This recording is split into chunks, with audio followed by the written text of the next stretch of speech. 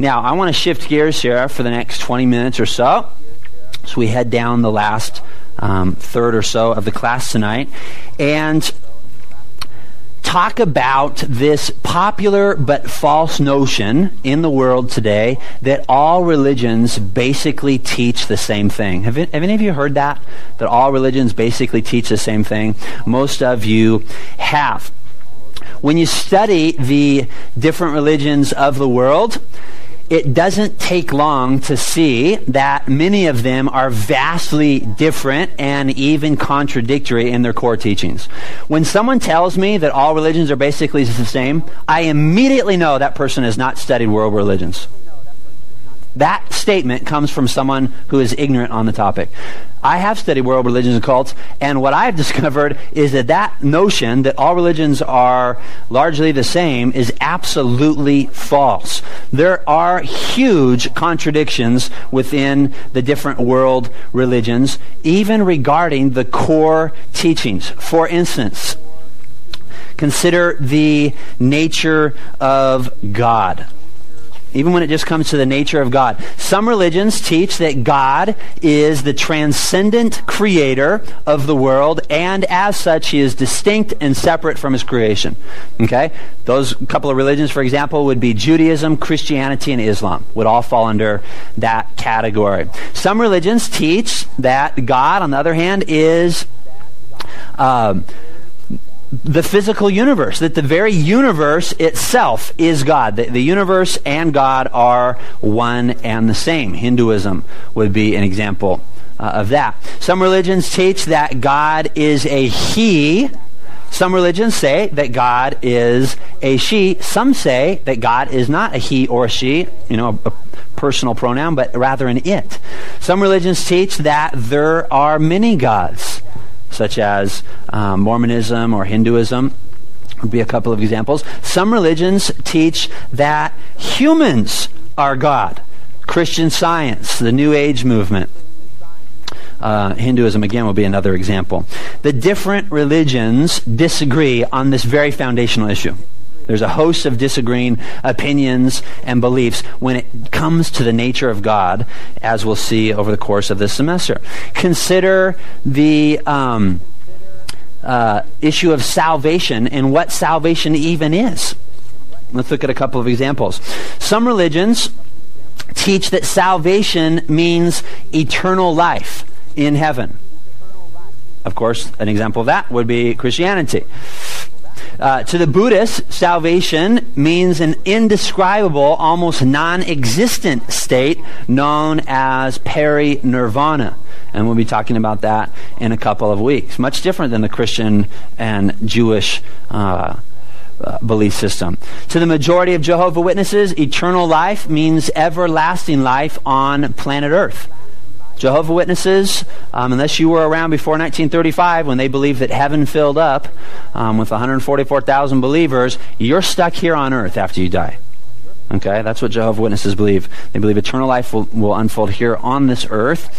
The goal of Hindus uh, the, the very you know thing they're living for isn't necessarily salvation the way we think of it. The goal of the Hindu is actually to break free from the cycle of life, death, and reincarnation and have their individual personality annihilated by becoming absorbed into the universe, which they believe is God, and they refer to it, not a him. They refer to the universe, God, as Brahman. And we'll talk more about that. Consider how salvation is obtained the, uh, there's a variety of opinions and disagreements on this. Another, you know, core issue.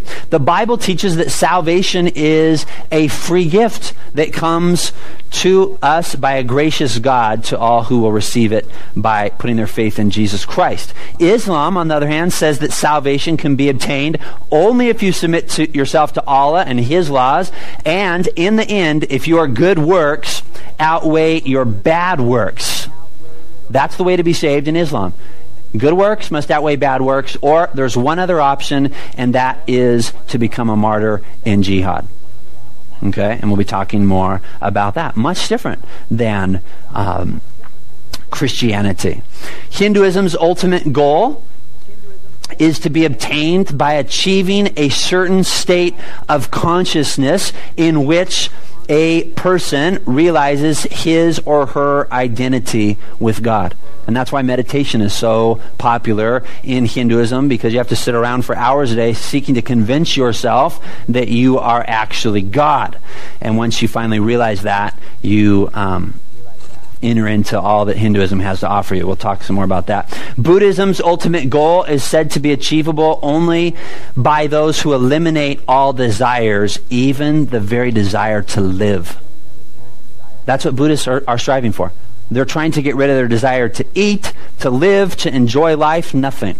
Uh, desire, all desire in Buddhism is absolutely bad and working against you because you seek to fulfill that desire for companionship in your life, it causes you to do bad and evil things. And when you do bad and evil things, according to Buddhism, you build up bad karma, which you have to work off in a previous life. And you're stuck in this endless cycle of life and death and rebirth, and you're trying to just finally get out of desiring anything in life so that you can finally escape the cycle of life, death, and rebirth and achieve this uh, hard to describe state known as parinirvana.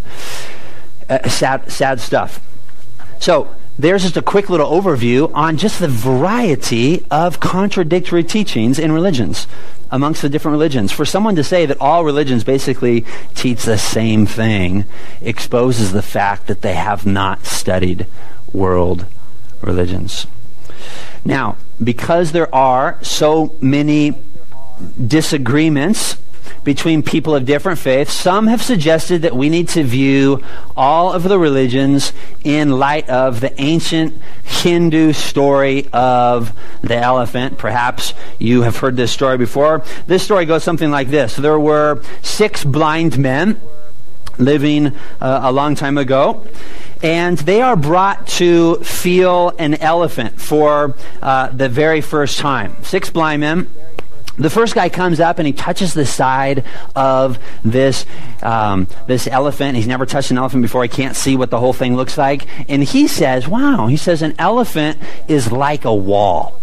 Okay, he's telling his other five friends, you know, an elephant is like a wall. The next guy says, you know what, that's ludicrous. He's over touching the, the elephant's ear, and he says, you don't know what you're talking about. An elephant is actually like a fan.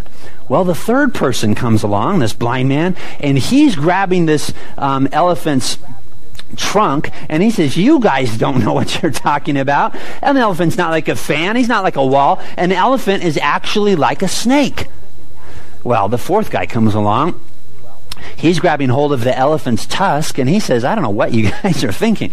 An elephant's not like a wall or a fan or a snake. An elephant is like a, sp- a spear hard and long and, and sharp. Well, the fifth guy comes along and he lay, he wraps his arms around this, this massive trunk you know, uh, the the leg of this elephant, and he's he says, I don't know what you guys are thinking. Um, an elephant's not like a fan or a wall or a spear or a snake. An elephant is actually like a tree. Don't you guys know what you're talking about? I mean, it's obvious that elephant is is very similar to a tree. Well, the sixth and final blind man grabs the tail of the elephant and confidently assures his friends that they're all mistaken and that an elephant is actually like like a rope. Well, what happens? A fight breaks out, and the six men begin arguing over who is right, and it gets pretty heated. Um, you know, you know. some are saying it's like a tree. Some are saying it's like a snake. And an onlooker to the fight, who's not blind, according to this ancient Hindu story, and who sees the whole elephant, ends the fighting by telling the men that each of them is actually correct, and the elephant is actually like a wall, like a snake, like a tree, like a spear, a fan, and a rope. How many of you have heard that story? Have you heard it? It's popular on university campuses and world religion classes. The first day of class, and that's why I thought we'd talk about it the first day of class. That the religion professors, oftentimes at the local junior college or San Marcos State, they'll tell the story and try to try to get the point of the story basically is is that this is what all of the different religions are doing. People of different faiths are coming to the same God and they are ultimately, you know, grabbing hold of the same God. And we all just describe that God a little bit differently. Okay? And basically, what they're trying to say is that all religions lay hold of the same God. Or, in other words, all paths lead to God. That is the popular view being um, taught in our secular university campuses today.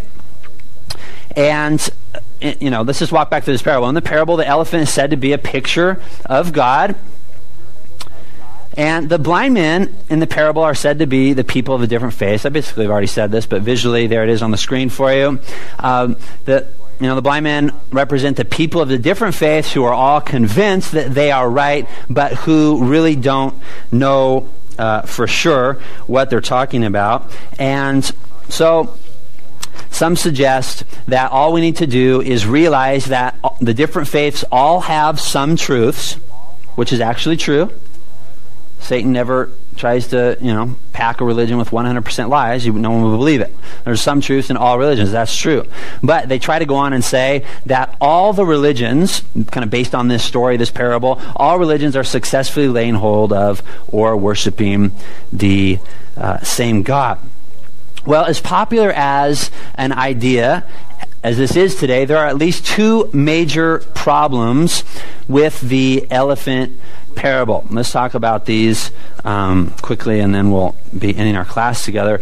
Problem number one the story doesn't prove anything. The story doesn't prove anything if you're taking notes. The story of the elephant is simply that. It's a story. It's a captivating, picturesque parable, but that's all it is. There's a difference between an assertion and an argument. Okay, and it's important for you to know this. An assertion is somebody's opinion. An argument is a statement that is supported by good reasons and evidence that that statement is actually true. The elephant story, guys, is not an argument that's supported by any facts.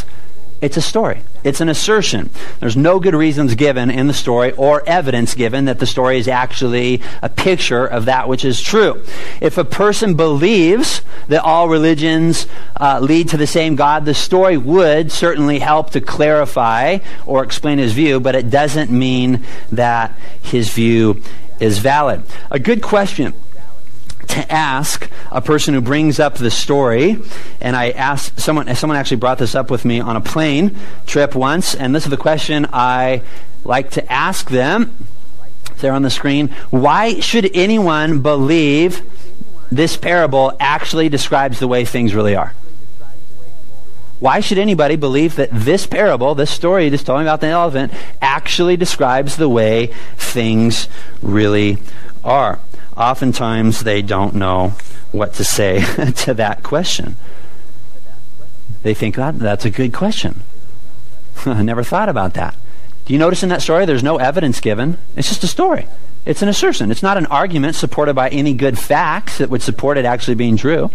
It's just a story, and stories don't prove anything. That's problem number one. Problem number two with this parable is God has not left us in the dark regarding who He is. God has not left us in the dark regarding who He is. In the parable, the elephant is totally silent and unable to speak to the men. And the men are left to guess what is true about the elephant. So there they are, groping about the elephant and saying, no, this is what it is. And the elephant's just sitting there like an, like an idiot, just, you know, with his trunk waving back and forth, and it, he can't talk to them. There's a big difference between God and the elephant. God has spoken to men. He hasn't left us to grope about like these blind men. He has told us what he is like, and he has even revealed what his will is for our lives. He's revealed himself to mankind in a variety of ways. First, God has revealed himself in and through creation. Chapter 1 of Romans, verse 20, talks about that. Secondly, he's revealed himself to all mankind through his conscience. Do you realize that? That a person that's never been exposed to the Bible or to the gospel still has enough evidence, God says in Romans chapter 1, to condemn him on judgment day for not having turned to God and cried out for mercy the very testimony of creation shouts to the fact that there is a God and mankind's conscience also God has designed to lead him to God. God has written his law according to Romans chapter 2 verses 14 and 15 on the hearts of all men living on all continents throughout all time. So God has revealed himself in those first two ways, called those we refer to those two ways as general revelation. The fact that God has revealed himself in that general way to all mankind living at all times. But God has also revealed himself to mankind through the canon of Scripture, the 66 books that make up the Bible. And fourthly, God has revealed himself to mankind through uh, the person of Christ. And what God has revealed to us has dealt a death blow to the story of the elephant and demolished the notion that all religions lead to the same God. In that parable, the elephant can't tell the men, hey, what are you guys doing? You know, you're all mistaken about me. Well, God actually has been able to spoken or to speak rather, and what he has spoken, he has told us very specifically that there is not a multiple uh, or variety of ways to approach him, but there there is actually only one way. Consider this Jesus, who not only claimed to be the Son of God, but proved himself to be God by his sinless life, uh, his fulfillment of hundreds of Old Testament prophecies, his miracles, and his resurrection from the dead. God himself, who proved himself to be God, said this I am the way, the truth, and the life. No one comes to the Father except through me. End of sentence. God. God said that himself. Jesus was God in the flesh. John 8 58. Jesus refers to himself there as I am, an Old Testament title for God. John chapter 1, verse 1. In the beginning was the Word, the Word was with God, and the Word was just a God? No. The Word was God Himself. He was manifest in the flesh. John 1 chapter 14 says, These are the words of God himself. He said, I'm the way, the truth, and the life. No one comes to the Father except through me. The person of Jesus. Now, some say, and I've uh, someone has told me this before, uh, actually a couple of times. Well, that's just your interpretation.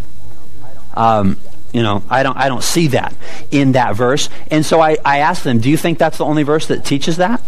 in the Bible? Let's look at another one. And okay, I, I say, well, okay, maybe maybe that verse is a little confusing. It seems pretty clear to me, but let's—I'll give it to you that it's kind of confusing. Let's let's go see what a couple other verses say, and I'll take them over to Acts chapter four. Verse 12, the Apostle Peter said, And there is salvation in a multiple of different people. Mohammed, no, that's not what it says. He says, There is salvation in no one else, for there is no other name under heaven that has been given among men by which we must be saved. And I asked the skeptic who says, well, the Bible doesn't, or, you know, asserts that the Bible doesn't teach this one path. I, I asked them, what do you think that means? It seems pretty clear to me. Is that the only other verse? No. The apostle Paul, 1 Timothy chapter 2, verse 5. He said, quote, "For there is one God and one mediator between God and men, the man Christ Jesus."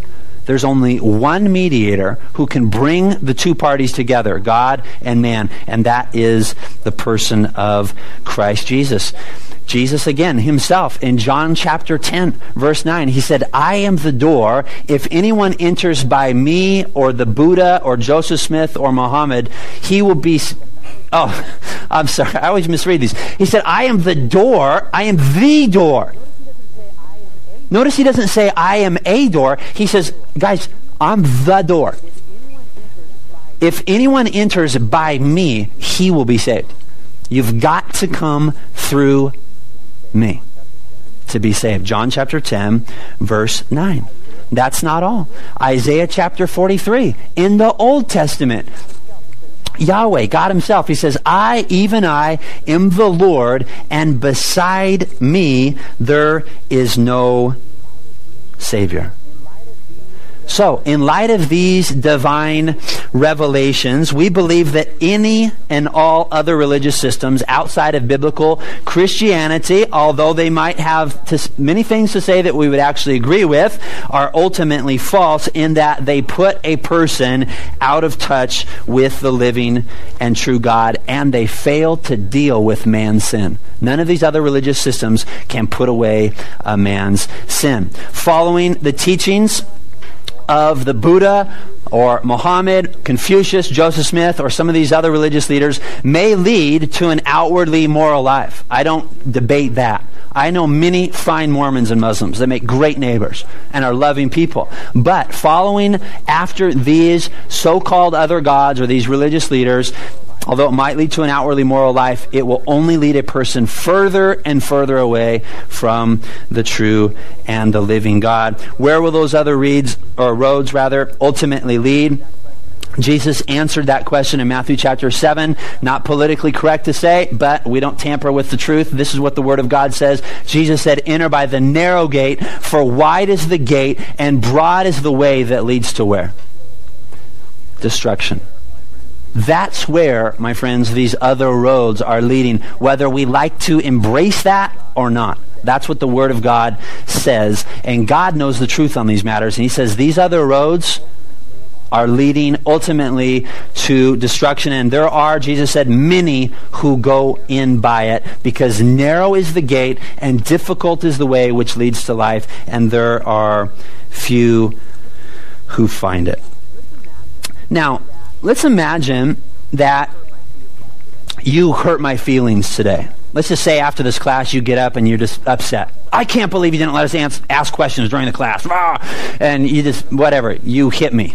Or you just you do something that we both agree would be sinful.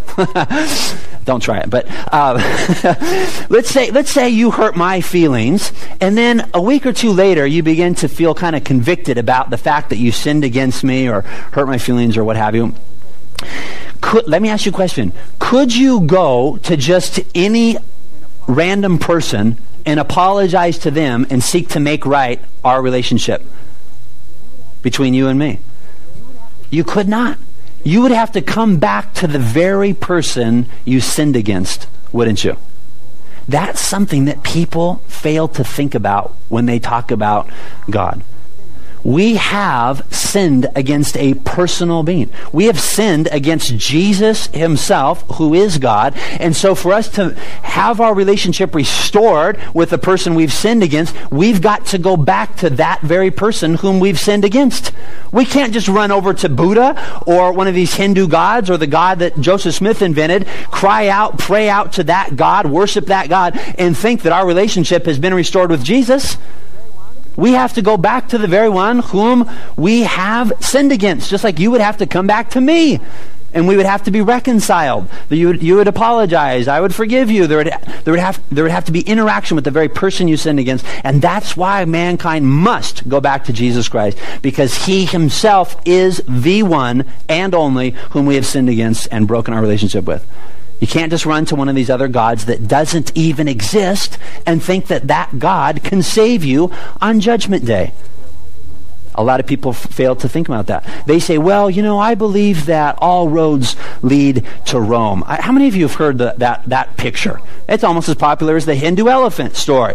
You know, I believe that all roads, just like all roads lead to Rome in the ancient world, there's a picture of Rome there.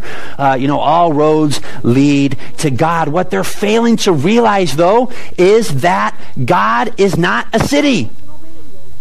He's a personal being. You could create all kinds of roads leading to a city. God is not a city.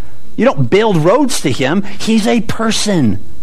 He's a personal being. He's a personal God. And we've sinned against him. To have our relationship restored with him, we've got to go back to him, to the very person we've sinned against. And that is Jesus himself. The skeptic says, Well, you know, now that you're talking about all this, Charlie, do you believe that a person is actually going to go to hell because they happen to be raised in a Buddhist family and have never heard of Jesus? So they think, you know, um, that seems pretty unfair? My answer to that question is absolutely not. The Bible makes it clear that a person doesn't go to hell just because they were born in a Buddhist family and never heard of Jesus. The Bible says that a person goes to hell because they have sinned against the light that God has revealed to them. God has revealed himself. Yes, they've never heard of Jesus, but we already mentioned earlier, God has revealed himself to all men living on all continents throughout all of time in two ways at least. Number one, through creation, and number two, through his conscience. And so if a person ends up in hell, it's not going to just be because they were um, born in a Buddhist family. No, it's going to be because they're a sinner and they have uh, resisted and even rejected the light of creation and of their own conscience. And I always like to bring up the fact that, guys, I'm not going to judge them. God's the one who's fair. God's the one who's just. I trust that they're in good hands on Judgment Day. God's not willing that any should perish. God actually loves that person more than you, my skeptical friend. If there's any way that they can be saved, God will save them. Because if they will respond to the light that God has given to them, if they will cry out to God, God will allow himself to be found by them. He will send them a missionary. He will get a Bible into their hand. He'll direct them to a website or, you know, that kind of a thing that they might know the truth and be saved. Look at these verses right here. Um, Matthew chapter 7. Look what Jesus promised. This is a promise that applies even to the unbelievers. Seek and you will find. Knock and it will be open to you. For everyone, not just Christians, for everyone who asks receives, and he who seeks finds, and to him who knocks it will be open if a person will seek after and cry out to the God of creation and respond to the guilty promptings in his conscience that tells him he is a guilty sinner in need of God's grace, God will reveal himself to that person and that person can be saved. Let me just show you one other verse. Jeremiah chapter 29, verse 13 and 14, God says in the Old Testament, And you will seek me and find me when you search for me with all your heart. If a person will seek after the true and the living God and desire to really know him, God will make himself known to that person, and those persons will be saved. That's what the Bible teaches. And so I don't believe a person just goes to hell because they're born in a Buddhist family. God is giving mankind all around the world equal opportunity to respond to the light of creation and their conscience. And the book of Revelation even tells us that when we stand before the throne of God, spread out there before the throne of God, there are going to be people, it says, quote, from every tribe, nation, and tongue. God is going to save and is today saving people in every tribe, country, every tongue, every every village around the world. God is working. You can trust in that because the Bible says that that will be the case.